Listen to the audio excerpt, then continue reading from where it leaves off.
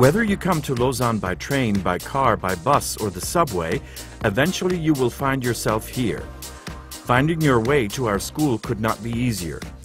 Follow Ruchonnet Avenue and in less than two minutes you reach number four, right where our Language Links Lausanne School is located. Here we are during a course. The participants come from everywhere around the globe and can learn most of the world's spoken languages. Bonjour, je m'appelle Gurinder Singh. Switzerland in January 2003. At that time, I could not speak a word of French. Two years ago, I took a course at Language Links.